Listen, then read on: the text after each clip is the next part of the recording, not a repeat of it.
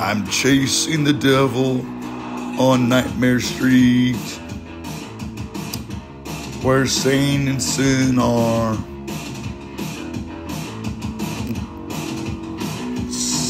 The devil was running away from me because he knows that I'm mad at him putting sin in our world.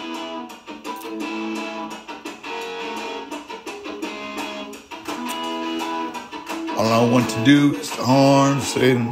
All I want to do is harm Satan to see if I can change the world to a better place. I'm chasing the devil on Nightmare Street to see if I can just shoot him with the gun and see if he disappears.